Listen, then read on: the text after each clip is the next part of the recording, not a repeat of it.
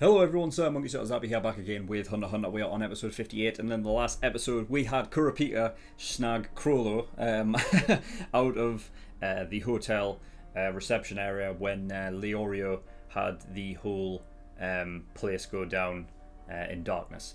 Uh, so yeah, that was a distraction that he needed. He just needed a split second and he got it. Um, so yeah, that's big, that's huge.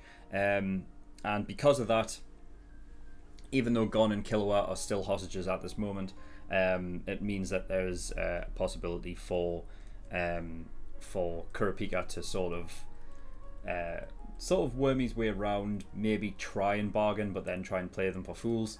Um, you know, because I, I don't see how Kurapika's going to let him like let Chrollo go. Like, I mean, he, he would do it, you know, for Gon and Killua, obviously, but um, but yeah, he's anyway. It doesn't matter.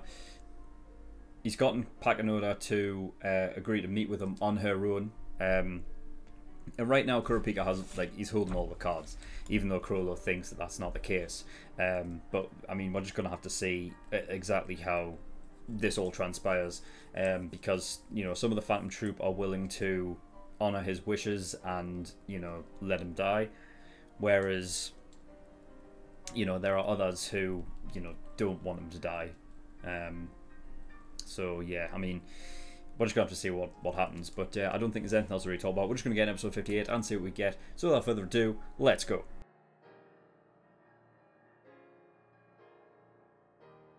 Okay, well, that was crazy. God's sake. I mean, I feel like I, I say this so many episodes, but like I, I just didn't expect it to go that way at all. I was expecting. Oh fuck! God damn it! I mean, uh,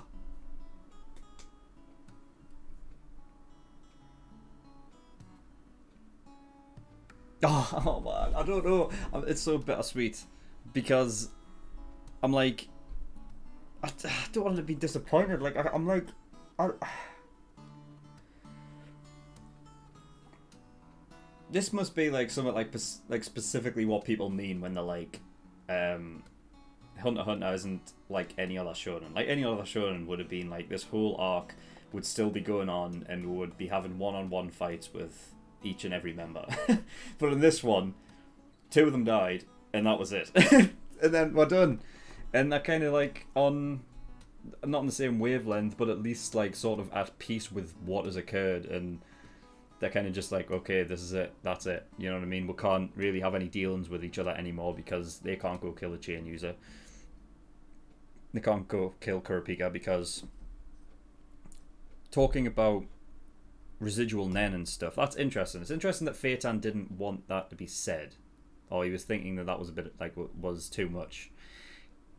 Because why would he care if they know about residual nen and stuff? But it's, it's interesting that Left Behind nen sort of has a will of its own. Um, or doesn't really have a will of its own. More or less, it continues on the will of the person who it was attached to when it died. So the reason, the thing is, is that logically one would might think that if you were to kill Kurapika, then the the, the, the sword of law or whatever would be um it would like be discontinued and it wouldn't work anymore, it would disappear. Whereas in reality what Finks is saying is that if you know, because of the will of uh Kurapika on that particular condition, if he were to die, the sword of law would just kill him anyway. Um, as a sort of like a vengeful act or something. But yeah, so that's interesting. Um, so yeah, Pakunoda is dead. I, I wasn't sure if doing the memory bullet thing would be a loophole and a way to get out of it, and she would be fine. But you know, she she gave it up. Um, so yeah, I mean, I think Pakunoda was out of the the bunch of them. I mean, so she seemed like the reasonable one anyway. Um, you know what I mean? Uh, and she was quite nice. Um, so yeah, that, that's a shame. Um,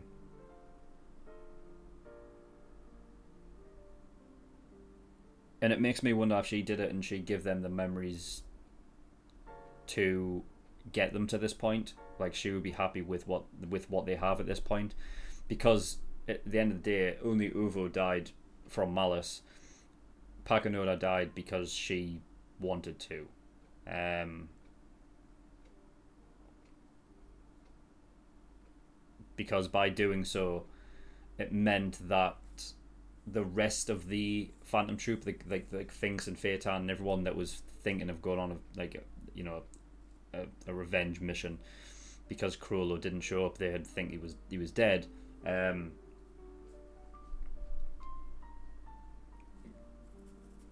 by giving them those memories, it means that they're on the same wavelength as what she was thinking now, you know. And by doing so, it means that she dies, but the rest of them will be safe because they wouldn't pursue it, you know. And Kurapika get, you know, gets a fever, and it makes it. I'm just interested to see what Kurapika does after the like after this, you know, because they're talking about it. And it's like going on to the Greed Island arc, which. Fuck. I don't know. I, I, I don't know if if Kurapika's like if he is truly quenched of revenge against the Phantom Troupe. I really don't.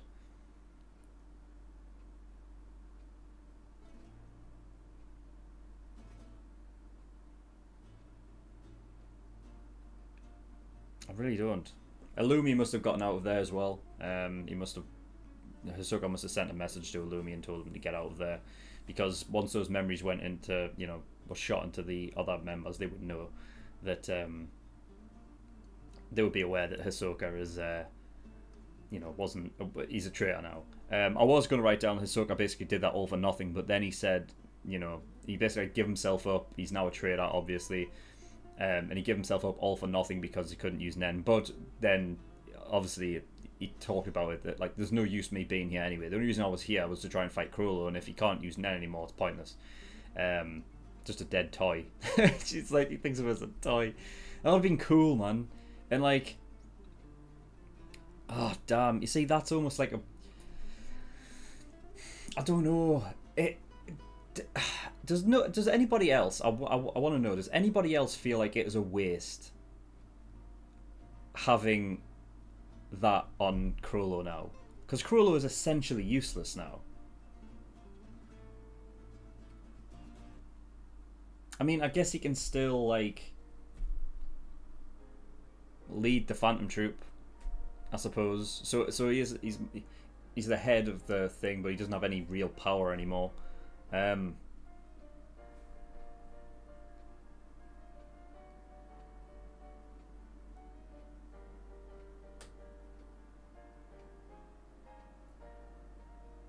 fucking hell. I mean, that's crazy. Like, I can imagine like in this show like something similar to you know like some people would say uh, it's a fate worse than death.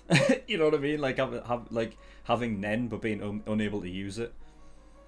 Oh.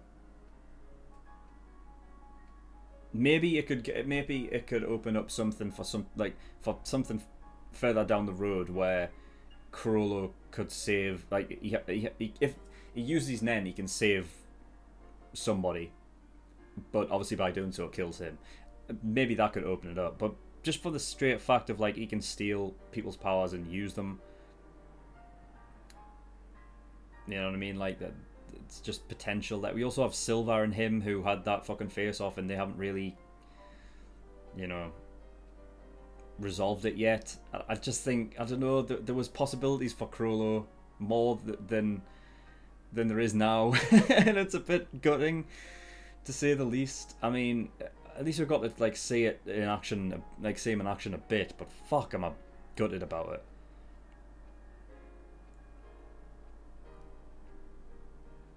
Yeah, I don't know if I don't know what Kirby is going to be like when he gets out of this fever and, and figures out exactly what happens. And also, we don't know what this plan is of fucking getting the Greed Island thing. They didn't even mention it, so that's going to be revealed later on. Um,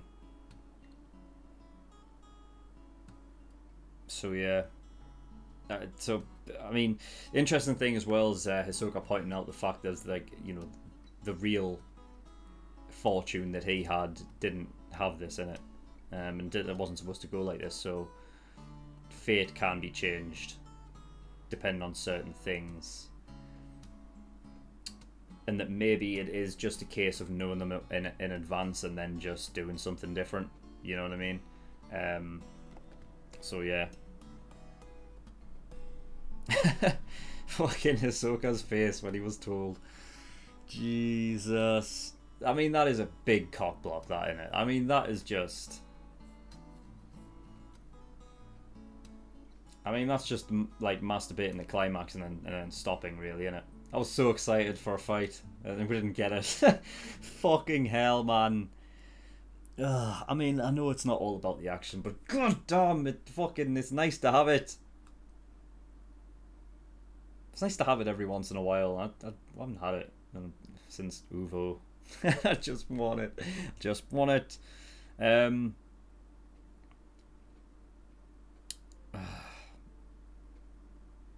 yeah, I think what really like turned them, turned the Phantom Troupe sort of over and uh, to basically be at peace with what has occurred and just deal with it was um, was uh, not just the memories of what Pakunoda and everything that occurred there, but also.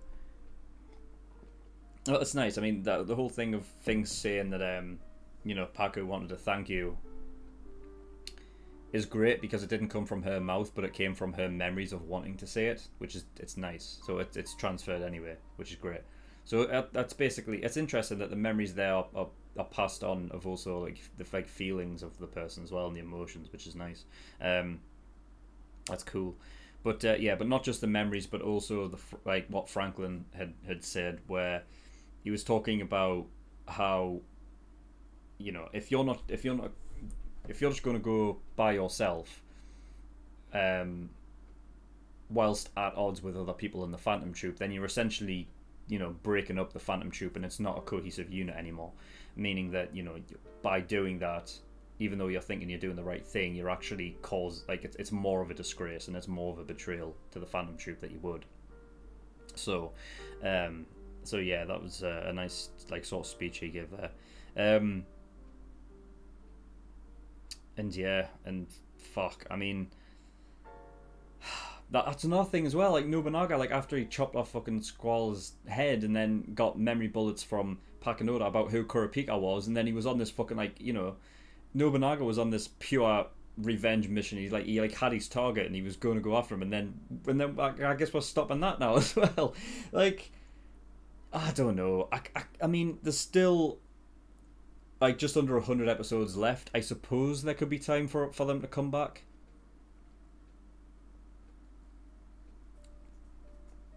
I suppose it could come back, and again, like I said, I don't know what Kurapika's going to be like if he wants to pursue it again or not. I don't know, but um, but yeah, and I mean, I guess it's just something we'd just have to wait and see.